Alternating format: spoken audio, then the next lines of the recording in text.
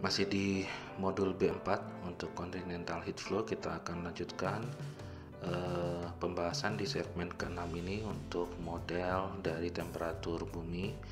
Ya, kurang lebih nanti kita berharap bisa menunjukkan model dari kurva temperatur atau profil temperatur dari permukaan sampai ke inti bumi. Ya, kita menyebutkan sebagai model temperatur karena uh, beberapa data mungkin hanya bisa diambil di permukaan sedangkan uh, temperatur yang ada di dalam bumi mungkin uh, kita belum bisa mendapatkan data sampai ke inti yang artinya mungkin memerlukan pengeboran yang sangat dalam mencapai ke inti bumi dan di situ mungkin kita akan uh, sampaikan berkaitan dengan model tersebut dari beberapa yang sudah dilakukan oleh peneliti. Uh, mungkin ada baiknya sebelum kita masuk ke materi kita perlu kembali sedikit berkaitan dengan pembagian dari struktur uh, bumi. Uh, saya coba ambilkan beberapa dari uh, Gringer ya. Kurang lebih pembagiannya untuk uh, bumi dari permukaan sampai ke inti. Kalau kita membaginya menjadi 9 bagian ini bisa dibaca beberapa keterangan berkaitan dengan kerak kemudian ada moho ada bagian yang kita sebut sebagai mantel bagian atas ada istilahnya low velocity zones ada lower mantle atau mantel bagian bawah kemudian uh, uh, lapisan D kemudian ada outer core atau inti bagian luar ada uh, lapisan dari liquid solid dari uh, inti kemudian ada juga inti bumi bagian dalam. Ya itu pembagiannya. Sedangkan untuk uh, bagian atas kita kenal misalkan ada troposfer, stratosfer, mesosfer, termosfer dan exosfer ya ini hanya beberapa klasifikasi yang sudah dilakukan peneliti. Jadi intinya di sini kita melihat ada beberapa bagian. Meskipun tidak sedetail ini nanti kita akan coba lihat profil dari tinjauan uh, berkaitan juga dengan gradien temperatur adiabatik yang di segmen sebelumnya sudah kita bahas untuk uh, melihat uh, profil atau kurva temperatur dari bumi dari permukaan menuju inti. Baik, kita akan coba lihat dulu secara cepat terkait dengan persamaan yang sudah kita dapatkan berdasarkan penjelasan di segmen sebelumnya untuk uh, gradien temperatur adiabatik dengan menggunakan beberapa nilai untuk bagian mantel atas. Uh, kita bisa menghitung gradien temperatur adiabatik kalau kita menggunakan angka-angka ini dan dilibatkan sesuai uh, dengan satuannya dan juga ketentuannya uh, mungkin ini adalah hasil pembulatan. Jadi sekitar 4 kali 10 pangkat minus 4 derajat celcius per meter. Kurang lebih itu diasumsikan dihitung untuk uh, posisi atau proses adiabatik di area uh, shading ini atau area yang diarsir ini untuk bagian atas. Untuk bagian atas dari mantel. Dari sini kita bisa melihat jari-jari atau dari kedalaman dari permukaan menuju ke bawah uh, dari uh, bagian mantel atas sampai ke inti. Pada mantel yang lebih dalam, koefisien dari ekspansi termal uh, berkurang. Banyak studi untuk estimasi peningkatan temperatur di mantel dilakukan dan hasilnya menunjukkan peningkatan temperatur seiring dengan kedalaman meskipun gradien temperatur adiabatik menjadi pendekatan pada mantel bagian atas. Jadi di sini uh, yang dimaksud dengan ekspansi termal itu adalah alfa ini ya berarti ya. Kemudian kalau CP itu adalah specific heat sebagaimana yang sudah dijelaskan di uh, segmen sebelumnya. Terus kemudian uh, kalau kurva garis hitam ini mungkin perhitungan adiabatik hanya dilakukan untuk bagian ini dan putus-putus ini adalah estimasi jika proses uh, gradien temperatur adiabatik dilakukan pada bagian uh, mantel atas dan juga bagian bawah.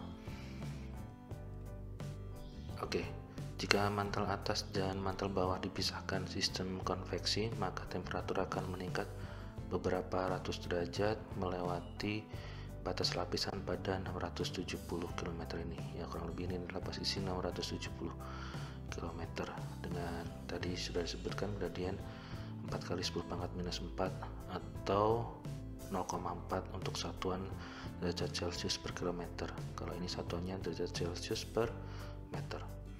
Nah, untuk bagian bawah ini uh, kurang lebih uh, keyakinannya yang disampaikan uh, berkurang yaitu pada orde 0,3 derajat Celcius per kilometer. Kita coba bahas di slide berikutnya.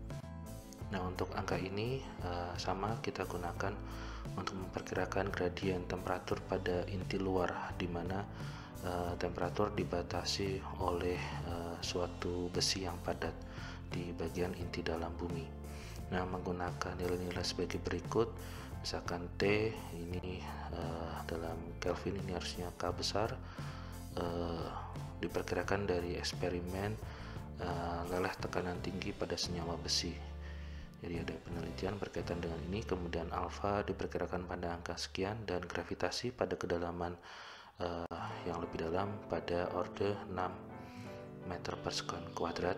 Jadi mungkin kalau studi berkaitan dengan uh, gini kita perlu melihat lagi uh, materi berkaitan dengan teori potensial uh, untuk gravitasi terutama untuk uh, bola pejal begitu ya pada kedalaman uh, R tertentu di dalam bola pejal tersebut ya kurang lebih ini pendekatan yang digunakan kemudian spesifik hitnya digunakan angka seperti ini dan gradien adiabatik uh, dihasilkan angka seperti ini. Nah, uh, karena diperkirakan rasio alfa per CP atau uh,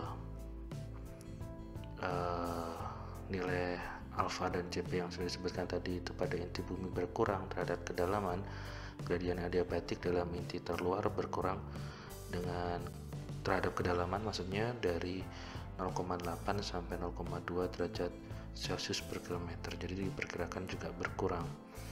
Sehingga untuk perkiraan yang dapat disampaikan adalah kurang lebih pada 0,3 plus minus 0,3 derajat Celcius per kilometer jadi demikianlah studi dan ketidakpastian pada sifat fisik inti bumi di uh, bagian luar